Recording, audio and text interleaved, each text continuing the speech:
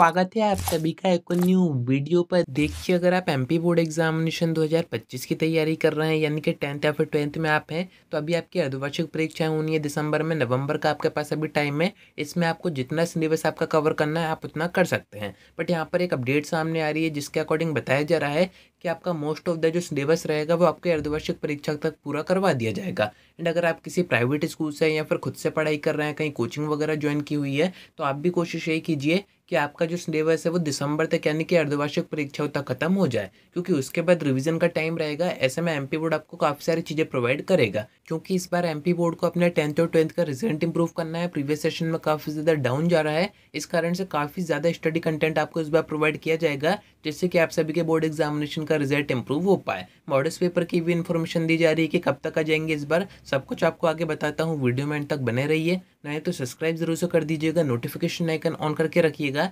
MP board के पूरे session की सारी अपडेट्स आप तक टाइम पर पहुँच जाएँगी। अब देखिए अपडेट सामने आ रही है, इसमें आपको बताया जा रहा है कि इस बार का आपका जो सिलेबस रहेगा, अगर आप किसी गवर्नमेंट स्कूल से पढ़ाई कर रहे हैं तो वहाँ के जो टीचर्स रहेंगे, वो यही कोशिश करेंगे कि अर्धवार्षिक परीक्षा तक आपका पूरा सिलेबस कवर करवा दें। अब ऐसे में आपके मन में डाउट आ रहा होगा कि अर्धवार्षिक परीक्षाओं में क्या पूरा सिलेबस आएगा, जैसे कि प्री बोर्ड या फिर बोर्ड एग्जामिनेशन में आता है तो ऐसा नहीं होगा बट वो कवर आपका पूरा करवा देंगे, आएगा उतना ही एग्ज़ाम में जितना कि आपका एकेडमिक कैलेंडर में दिया हुआ है। यानी कि पूरा कवर करवाने के पीछे इनका ये सेंस है कि आगे जो टाइम बचेगा, उसमें आपका रिवीजन करवाया जाएगा। रिवीजन किसके थ्रू करवाया जाएगा? तो एमपी बोर्ड हर बार मॉडल्स पेपर जारी करता है, जो कि इस बार एमपी बोर्ड ने बनने भेज दिए हैं। एंड इसी अपडेट में आपको बताया जा रहा है कि ये नवंबर के सेकंड वीक तक तैयार हो जाएँगे एंड वेबसाइट पर अपलोड हो जाएँगे। ऐसे में अगर आप चाहे प्राइवेट स्कूल से भी हो, तब भी आप इनको डाउनलोड करके अपनी प्रैक्टिस कर सकते हो।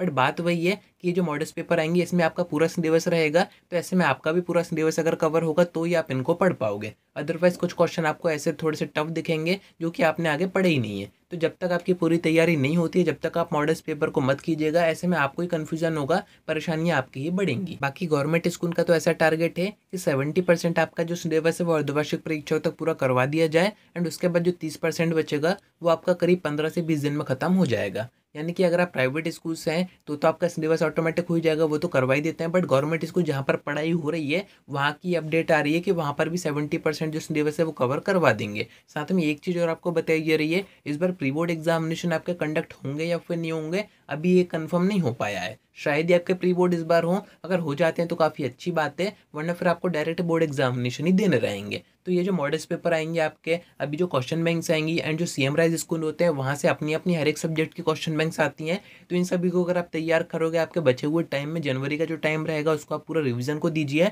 अगर ये सारी चीज़ें आप कवर करते हो तो एमपी बोर्ड में एट्टी वो परसेंटेज बनाना कोई बड़ी बात नहीं है। खासकर ये जो मॉडल्स पेपर आपको यहाँ पर बताए जा रहे हैं, जो कि नवंबर के सेकंड वीक तक जारी हो जाएँगे, ये काफ़ी ज़्यादा इंपॉर्टेंट होते हैं। इससे आप एग्ज़ाम पैटर्न समझ सकते हैं, आपका जो ब्लू है वो समझ सकते हैं, कैसे क्वेश्चन आएँगे, किस स्टैंडर्ड के आएँगे, वो भी आप समझ सकते हैं। यहाँ से क्वेश्चन रिपीट होने के चांसेस भी होते हैं। तो जैसे ही अपलोड होंगे तो मैं आपको वीडियो के थ्रू बता दूँगा कि कैसे क्या आपको इनको डाउनलोड करना है तो आप सभी इनसे ज़रूर से प्रैक्टिस कीजिएगा। एंड अगर आप अपनी तैयारी खुद से कर रहे हैं, कहीं पर आपने कोचिंग ज्वाइन कर रखी है तो आपकी भी कोशिश यही होनी चाहिए कि दिसंबर तक आप भी अपना जो सिलेबस है वो पूरा खत्म कर दें। क्योंकि उसके बाद एक महीना आपके पास पूरा रिवीजन का होना चाहिए, पूरे सेशन में आपने जो भी पढ़ा है, उसका रिवाइज आपको करना ज़रूरी है। वरना एग्ज़ाम टाइम पे ऐसा याद ही नहीं आता है कि हमने कब, कहाँ पर क्या पढ़ा था। बाकी अगर आप किसी प्राइवेट स्कूल से हैं तो पूरे चांसेस है कि प्री बोर्ड एग्जामिनेशन आपके होंगे एंड एक नहीं हो सकता है कि दो प्री बोर्ड भी एग्ज़ाम आपके कंडक्ट हो जाए। क्योंकि प्राइवेट स्कूल का अपना जो रिज़ल्ट है, वो भी इंप्रूव करना होता है। तो चाहे आपके प्री बोर्ड हो, या फिर आपकी जो अर्धवार्षिक ये हों, ज़रूर से इनको अटैम्प्ट कीजिएगा, इनको छोड़ने की मिस्टेक मत कीजिएगा।